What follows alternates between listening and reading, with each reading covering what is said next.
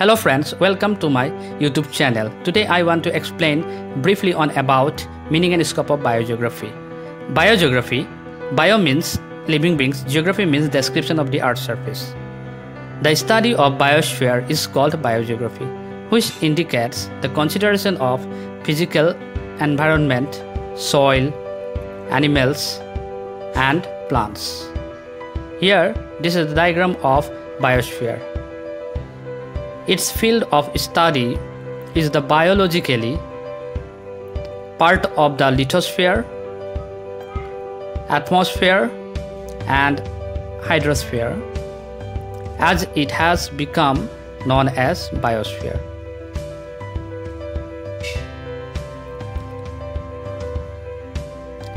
Now, scope of biogeography. First point Biogeography helps in knowing how different species have adapted to different geographic regions.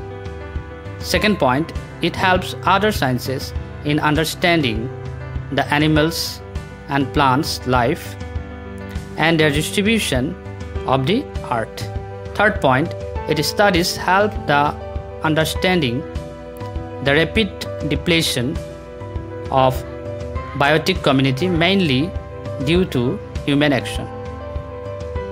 Fourth point, the study of biogeography helps in providing solution to various environmental problems.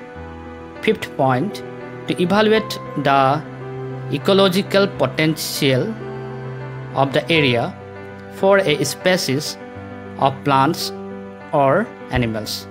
Last point, to analyze the spatial and temporal affinities between individual organisms and population. If you like my video then don't forget to subscribe my channel. Thanks for watching.